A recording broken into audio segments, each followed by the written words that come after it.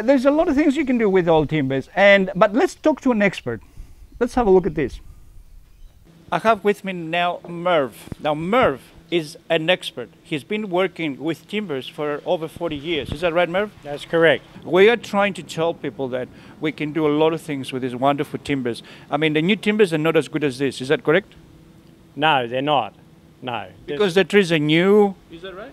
there's a lot of things. This is seasoned. It's Okay. It's recycled for a reason. It's got character. It's got charm. It's got feature. Uh, it's stable. Yeah. Um, there is a lot of labour goes into it, but the end result is something money can't buy.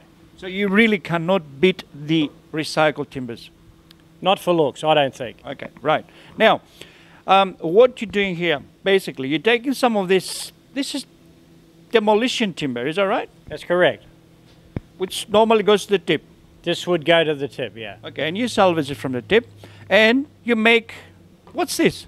This is going to become tables for restaurants, 700 by 700. But they want something that money you just can't buy off the shelf. They want something personal.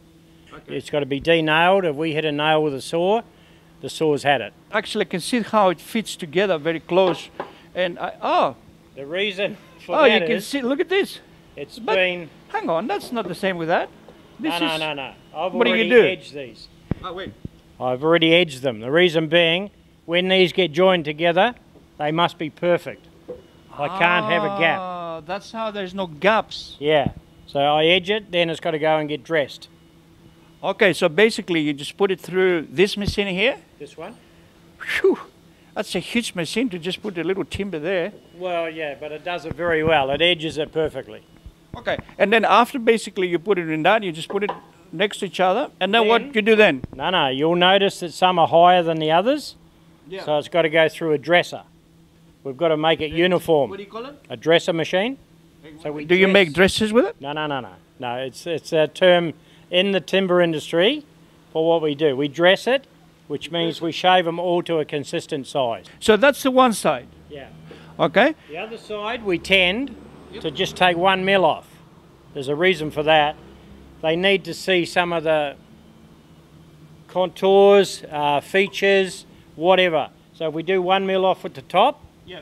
and then we dress it to 42 finish overall. So now we can see some of the tables that Merv made earlier. Yeah, we can make tables to any size, any specification for the customer. Okay, now we can see that the, the one end, for example, it's the finish that the customer want, which is a rougher finish. And then on the other side, it looks like new. It does look like new because it's come out of bigger size timber, but it's whatever feature the customer wants. They dictate what they're after. Nine times out of ten, they want the rougher look with the feature. Now, hardwood, it's an Australian timber. Oregon, it's mostly, it's American, isn't it? It's American, yes. Hardwood is very labour intensive and it's very hard on your machinery, but it's a different Oh, because it's hardwood. Yes, it's hard on you. There's a reason why they call it hardwood. It's hard work. It's hard everything, and your equipment suffers because of it. But it is a different look. Yes, I think that in a way, I can't, I'm not sure which one I like uh, the best. Both timbers, they are different and they're, they're both lovely when they're finished. You only just made the top there. What ab- You can't use that unless you're Japanese. Can you just put the legs as well?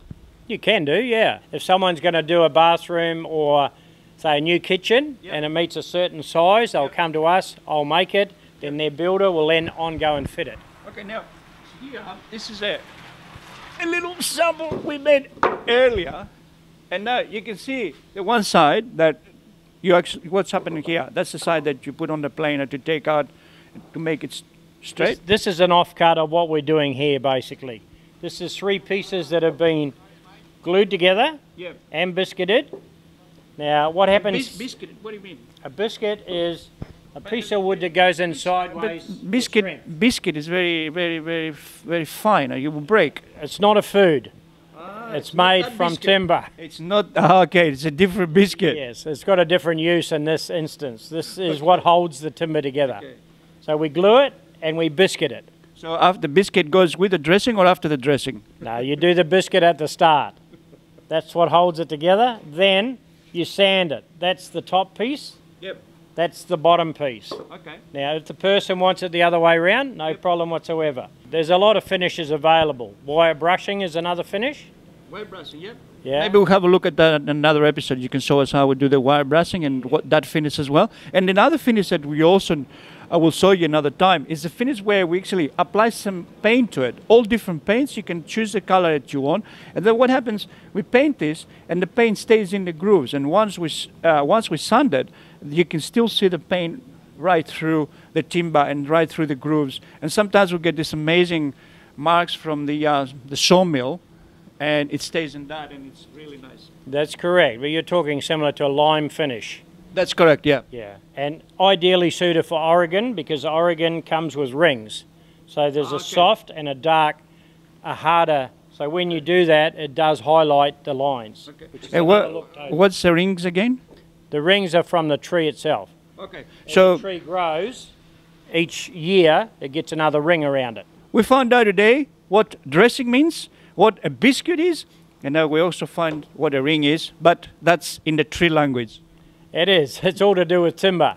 Um, Merv, thank you very much. That was very, very nice of you showing us around and uh, showing us your amazing work. If remember, have a look at the website, have a look at uh, all the different finishes, and then uh, give us a call or email us and come around have a look. We can make amazing stuff for walls, for floors, for uh, furniture, everything, isn't it? Any application that timber is used, we can do something with it. Great, thank you. Thank you. Here you can see an example of what happens when we split these timbers in half. These timbers here, they're only about 20 mil thick now, and they will make beautiful wall finishes. And you can see how on the one side, it's all nice and new, looks like new. So you can have this kind of finish, but the ideal one, of course, is this one here, which is the um, the shabby chic look, which is the used look. This is about 100 years old. This Oregon here, and this can be finished in any way you like. It could just be painted. It could be um, even whitewashed. You can see this one here that it has been actually gone through the plane, and you see that finish over there. This is nice and smooth now. There's no splinters, and it could be used for anything, including tables.